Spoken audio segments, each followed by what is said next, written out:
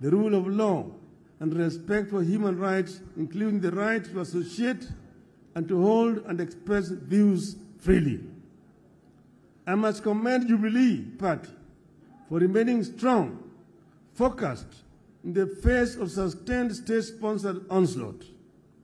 I am happy that the party recognizes its responsibility to Kenyans to defend and sustain our hard-won multi-party system.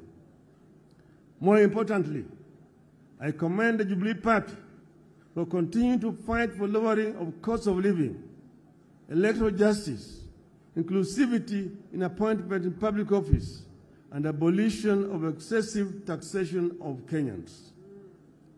I want to assure you that we will fight this battle together and we will win it together. Failure is not an option. Failure is not an option.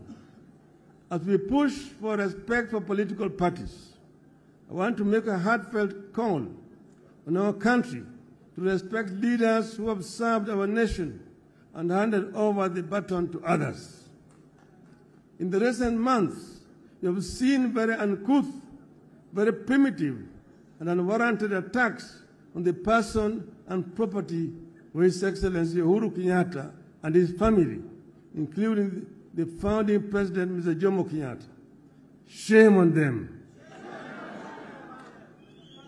Nothing could be more uncouth than what we have witnessed in this regard, especially when it comes from men and women who call themselves leaders, who expect to be respected once they retire, unless they plan to die in office.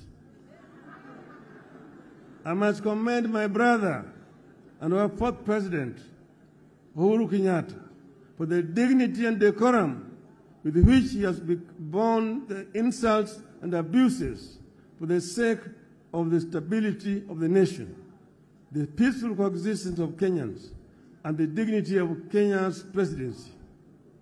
I personally thank Uhuru for choosing to fly high when they have hit an extreme low. I call for respect of retired leaders, not because Uhuru is with us in Azimio. I say it because it is what I believe in. It is what civilized people should do and believe. It is what happens in civilized nations. Kenyans will recall that when NARC took power in 2002 and excited cabinet ministers bayed for the blood of the then retired President Daniel Arap Moi, I said no.